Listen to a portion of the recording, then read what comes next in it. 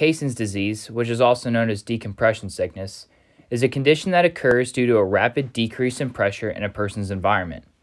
This is mostly common in scuba divers, which is what I'll examine in this video, but it can also occur in those traveling by plane if the plane cabin is not pressurized. Now, I'm sure you guys have all experienced the feeling of an increased pressure. For example, when you jump off a diving board in the summertime at the pool and you swim to the bottom of the deep end and you feel that pressure in on your ears, yeah, that's exactly what we're talking about here.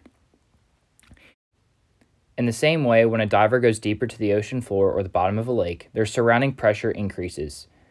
Now, within the scuba diver's tank, there's a mixture of gas of oxygen and nitrogen.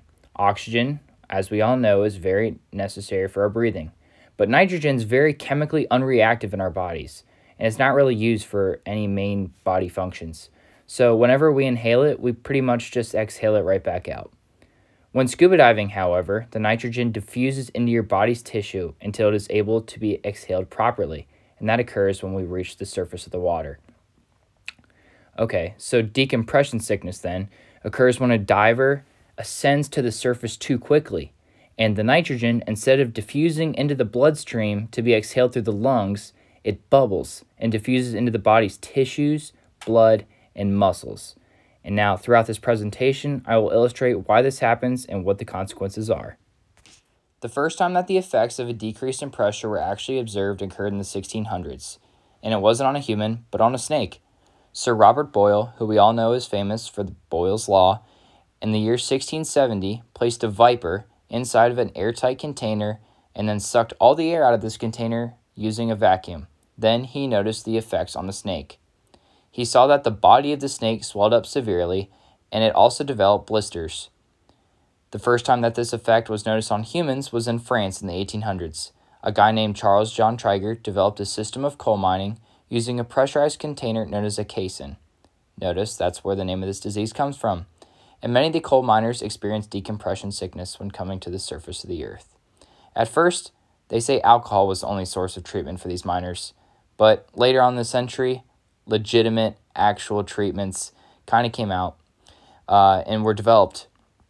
Uh, cold water baths, um, natural oils uh, of the earth that they found, um, mercury, complete uh, submersion of one's body in mercury, uh, quinine, and even leeches were uh, used in treating decompression sickness. The symptoms of decompression sickness vary from case to case, depending on the individual. Factors include the individual's previous medical history, their current physical condition, their use of drugs and alcohol, and the depth and duration of their dive. The more mild symptoms include pain, which is also referred to as the bends, uh, which is in reference to the joint pain wants to make you bend over, so that's why they call it the bends.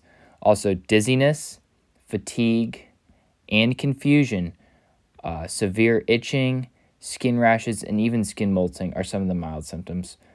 Uh, more severe symptoms include paralysis, brain damage, heart attack, and even death. Also, another visible sign of decompression sickness is the enlargement of the body due to the nitrogen, nitrogen gas that did not diffuse back into the lungs during decompression. Truthfully, no symptom is really out of the realm of possibility when it comes to decompression sickness, due to the fact that the nitrogen gas bubbles can affect any tissue within the body the blood, the bones, the nerves, or the muscles. A diver must allow time, when ascending, for the nitrogen to diffuse into the bloodstream, where it can then travel to the lungs. For this to happen, the diver must slowly swim back to the water surface, taking long breaks at several different water levels in the col water column to allow this process to occur. The symptoms of decompression sickness show up when the diver ascends too quickly or even bypasses the pauses of their ascent. If the ascent is done too fast, the nitrogen does not have time to enter the bloodstream via diffusion and instead will bubble and enter the tissues, muscles, and the blood. If this bubbling does occur, the result is decompression sickness, and this requires medical attention. In an emergency case of decompression sickness, the patient should be administered oxygen and their blood pressure should be regulated if possible before moving on to further treatment.